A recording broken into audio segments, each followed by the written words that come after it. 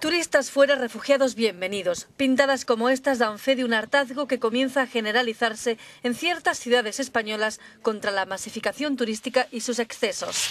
En la isla de Mallorca, que recibe unos 13 millones de visitantes entre abril y octubre, el fenómeno de las pintadas pone en evidencia un problema del que se ha hecho eco el gobierno socialista de Palma. A partir del 6 de junio, ciertas áreas serán catalogadas zonas de intervención contra el consumo excesivo de alcohol entre la medianoche y las 8 de la mañana.